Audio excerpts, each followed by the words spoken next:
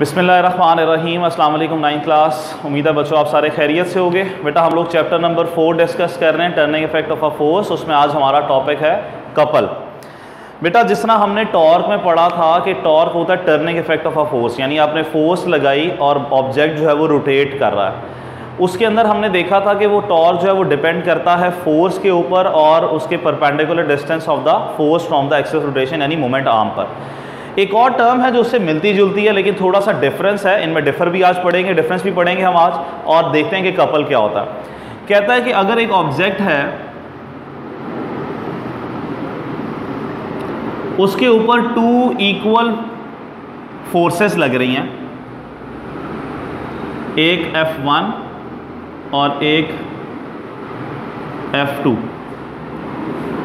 अब F1 और F2 दोनों क्या हैं? इक्वल होंगी। यानी इक्वल लेकिन आप गौर करें, ये पैरेलल भी हैं। जब हमने पैरेलल में पढ़ा था, ये पैरेलल फोर्सेस भी हैं पैरेलल होंगी। लेकिन इनकी डायरेक्शन ऑपोजिट है तो हम कहेंगे कि ये अनलाइक पैरेलल फोर्सेस हैं। एक ऑब्जेक्ट पर इक्वल और अनलाइक पैरेलल फोर्सेस लगें तो they form a couple they form a couple यानी कि इससे क्या होगी? रोटेशन प्रोड्यूस होगी। जिस तरह आप एग्ज़ाम्पल में देखते हैं टू ओपन और close a tap of water tap of water आप क्या करते हैं उसको? मूव करते हैं। तो एक फोर्स अपवर्ड और एक डाउनवर्ड या आ, उसको खोल रहे हैं तो आप एक डाउनवर्ड और दूसरी ऊपर।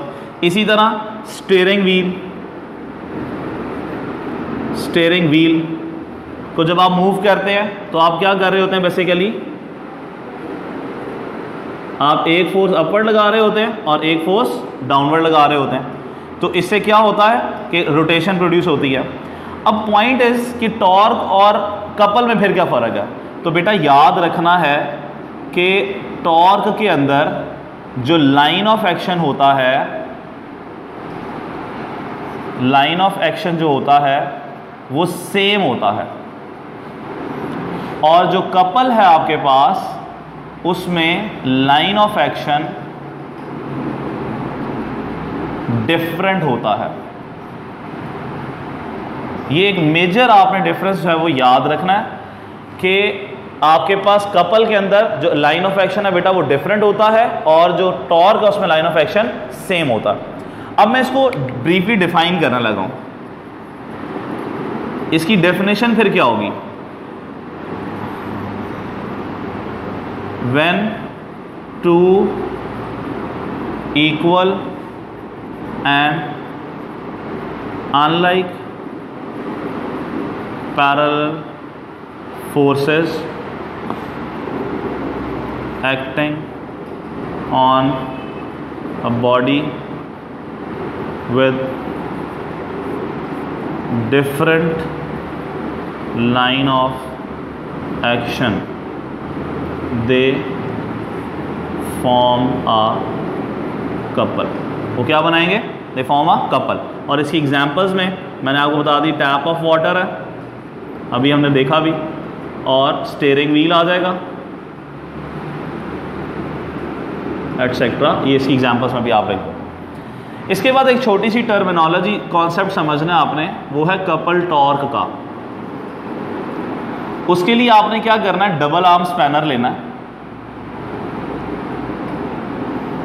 आपके साइड पे बनी भी हुआ कार पंक्चर हो जाए तो आप वो डबल आर्म स्पैनर से नट को खोलने के लिए यूज़ करते हैं। ये double arm spanner double arm spanner ये आपने लिया। अब आप देखें, जब आपने ओपन करना होता है मतलब अगर आप नट को इसके अंदर लगाते हैं तो आप फोर्स लगाते हैं, ठीक है? अगर फॉर एग्ज़ाम्पल ये नट है, इसके अंदर आपने रखा हुआ तो आप इसको फोर्स लगाओगे घुमाने के लिए। अब यहाँ पर आप फोर्स लगाओगे अपवर्ड और यहाँ पर लगाओगे डाउनवर्ड ये इसका मिड पॉइंट है जिसके गेज रोटेट कर रहा। है ए पोजीशन ये बी पोजीशन यहाँ पर आपके पास F1 ऐड कर रही है, यहाँ पर F2 ऐड कर रही है। हमने पढ़ा हुआ है टॉर का फॉर्मूला F इंटू एल ठीक है? यानी force into moment arm moment arm उस पॉइंट से वहाँ तक का डिस्टेंस। अब आप यहाँ पर देखें कि आपके पास O से एक तक डिस्टेंस इसका मोमेंट ऑफ़ फोर्स है और यहाँ से O से B तक इसका मोमेंट ऑफ़ फोर्स है, यानी मोमेंट आम है, ठीक है? और इसकी वजह से एक मोमेंट ऑफ़ फोर्स क्रिएट हो रहा है और एक इसकी वजह से मोमेंट ऑफ़ फोर्स क्रिएट हो रहा है, यानी टॉर्क क्रिएट हो रहा है। तो जब आपने टोटल टॉर्क निकालना है, टोटल आपने टॉर्क निकालना है जिसको हम कहते हैं कपल टॉर्क, वो किसके बराबर होगा?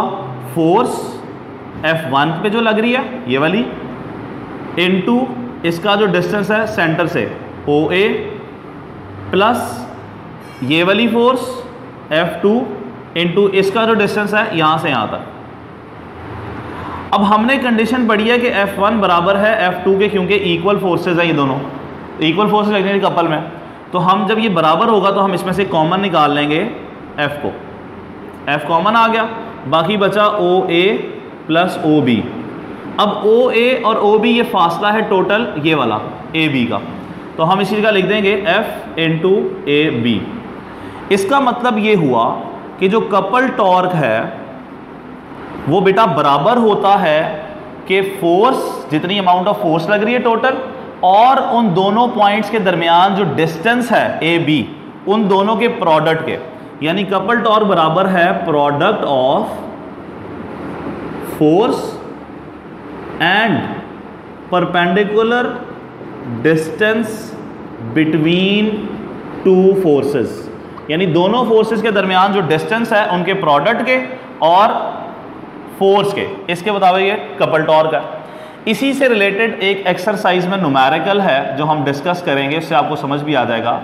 4.6 तो आप अपनी बुक्स खोलें और उस पर देखें कि 4.6 में वो आपसे क्या कह रहा है। तो बेटा 4.6 नुमेरिकल में वो हमें स्टेटमेंट दे रहा है कि the steering of a car has a radius 16 centimetre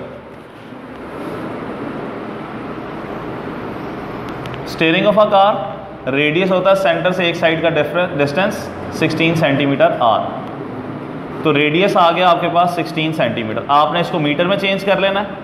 100 से डिवाइड कर कर 0.16 मीटर आपके पास रेडियस आ गया।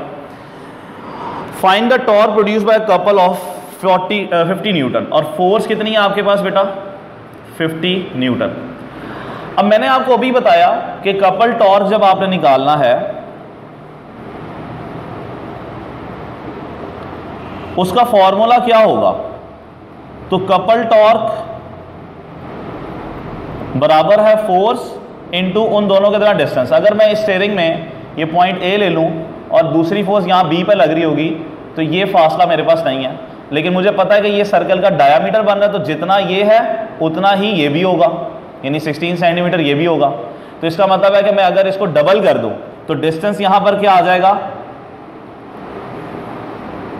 डिस्टेंस ऑफ़ फोर्सेस तो कितना हो जाएगा वो? डबल ऑफ़ आर, यानी टू इंटू आर। एफ़ आपके पास 50 है और टू आर आपके पास क्या है? 0.16 तो 50 इंटू ज़ीरो तो जब आप इसको मल्टीप्लाई करेंगे तो आपके पास आंसर आएगा 16 और इसका यूनिट होता है न्यूटन मीटर।